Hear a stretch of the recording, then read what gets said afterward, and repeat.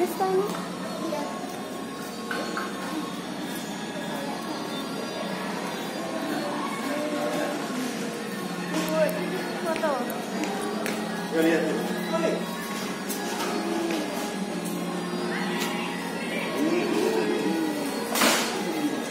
Wah, ini kayak bener-bener kayak di Singapura nih, bagus.